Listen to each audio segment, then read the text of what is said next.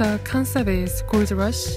It starts with one picture, woman working out of mine.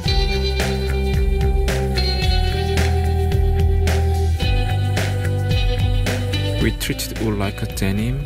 We did bleach then washed it. We're trying to make a loom for a new opportunity for using wool.